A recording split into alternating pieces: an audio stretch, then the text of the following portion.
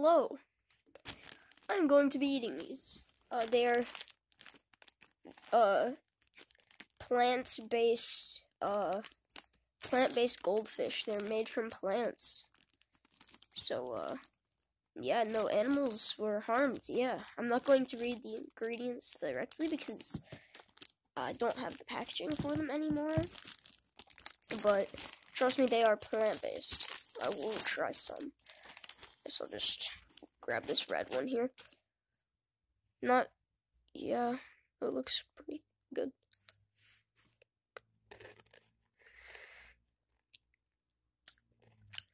Tastes good. That is that is pretty good.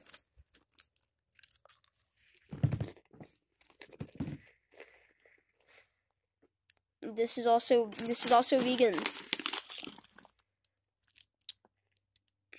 Read pause and read that if you want.